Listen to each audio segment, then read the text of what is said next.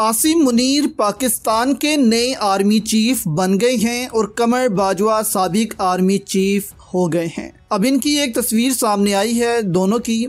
जिसे देखकर आप भी ये जानना चाहेंगे कि ये तस्वीर कब की है और इसमें दोनों जर्नल्स कैसे नज़र आ रहे हैं। आमतौर पर पाक फौज के सीनियर अफसरान के बारे में ये मशहूर है कि वो सख्त दिल और हर वक्त संजीदा रहने वाली शख्सियत के मालिक होते हैं और इनमें मज़ाक की खसूसियत कम दिखाई देती है। लेकिन सीनियर सहाफ़ी वजाहत एस खान ने सोशल मीडिया पर चंद तस्वीरें शेयर की हैं, जिनके दिलचस्प अनवानों ने सार्फिन की तवज्जो हासिल कर ली है। सीनियर सहाफ़ी वजाहत एस खान आजकल वैसे तो मीडिया से गायब हैं, लेकिन सोशल मीडिया पर काफ़ी एक्टिव दिखाई देते हैं और उन्होंने अपने ट्विटर पर एक एयरबुक में दर्ज प्रोफ़ाइल की तस्वीर शेयर की है, जिनमें सबक army chief general Qamar Javed Bajwa, army chief general Asim Munir और जनरल साहिर शमशाद की जवानी की तस्वीरें शामिल हैं। इन तस्वीर के साथ तमाम जनरल्स की तस्वीर को नहायत ही दिलचस्प और मज़ा से भरपूर अनवान दिए गए हैं। ये तस्वीर दरअसल उस वक्त बनाई गई जब सबक army chief general Qamar Javed Bajwa lieutenant colonel के अहदे पर फ़राइज अंजाम दे रहे थे,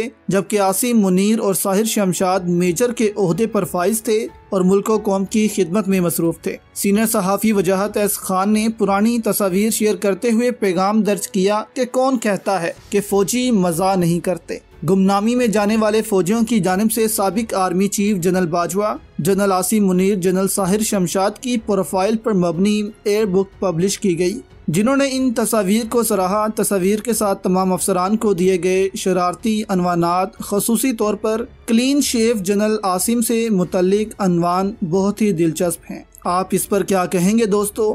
अपनी राय भी हमें नीचे ज़रूर दीजिएगा।